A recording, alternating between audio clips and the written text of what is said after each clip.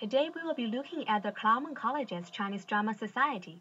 Formed this year, the society seeks to promote Chinese theater and culture at the Claremont colleges through student-run performances. Their first production, The Station, will premiere on Wednesday, November 27th at Seaver Theatre. The Station is an acclaimed play written by Nobel Prize-winning writer Xingjian Gao. Due to its political implications, the play was banned by the Chinese government shortly after it was first performed in China in 1983.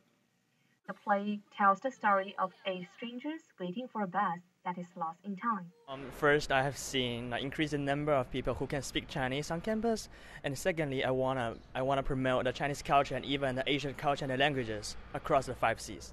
Yeah, it's kind of a reflection of modern China, and everybody's waiting, but nobody takes action. Really takes action. By presenting the change of individual faiths through time, the play portrays a unique period when China struggled to leave the past behind. The station promises to be a night of interesting, amusing, and thought provoking theater. Be sure to come see this inaugural performance on Wednesday.